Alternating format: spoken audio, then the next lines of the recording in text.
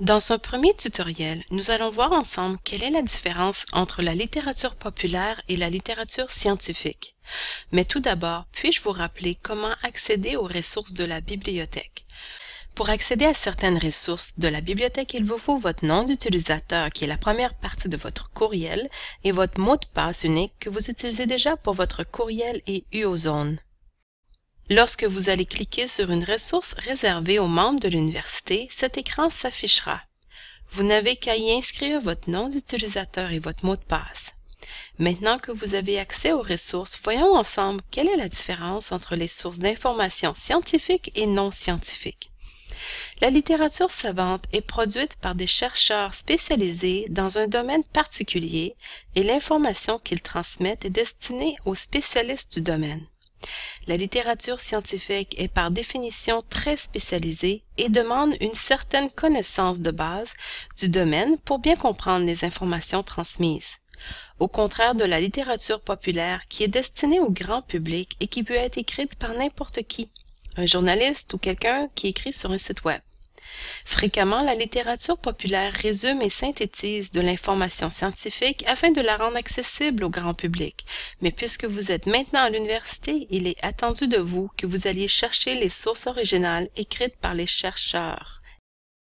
Un critère supplémentaire pour juger de la qualité d'une source d'information est si cette source est évaluée par les pairs ou peer-reviewed en anglais.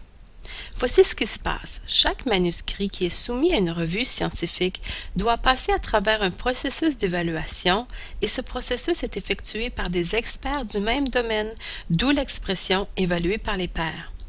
Ces experts vont donc évaluer la qualité du manuscrit, la méthodologie employée, le risque de biais, etc. Un article scientifique qui a été évalué par les pairs est donc de meilleure qualité. Afin de vous aider à mieux évaluer si une source d'information est fiable, voici une liste de questions qui vous permettra de vérifier sa qualité. Est-ce que l'auteur cite des références? Qui est l'auteur? Est-il affilié à une université ou à un institut de recherche? Est-ce que la revue est disponible dans la collection de la bibliothèque?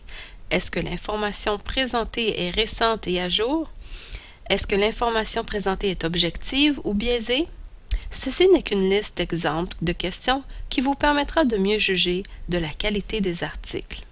Parlons également de l'information que nous trouvons sur le web de nos jours. La qualité de ce qui se retrouve sur Internet est très variable.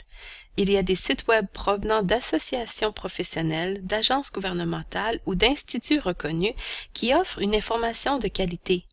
Mais comment faire le tri entre le bon et le mauvais? Eh bien, voici une liste de questions qui pourront vous aider à évaluer les informations que vous trouvez sur le web. Est-ce que l'information sur le site en question est compatible avec d'autres sources? Qui est l'auteur? Quelle est son expertise? Quand le site web a été mis à jour pour la dernière fois? Quel est l'objectif du site? Est-ce qu'il divertit, informe? Est-ce que l'auteur a un parti pris ou bien est-ce qu'il présente les différents aspects de la question? Et finalement, voici quelques petits trucs. Regardez l'extension du site web. Si c'est .edu, .gov ou .org, il y a une forte chance que le site en question que vous avez devant les yeux soit de qualité et que l'on peut s'y fier. Donc, avant de terminer, voici quelques sites web auxquels vous pouvez avoir confiance. Le site de Santé Canada, de l'Association des diététistes du Canada et de l'Organisation mondiale de la santé. Ceci met fin à cette vidéo. Bonne recherche!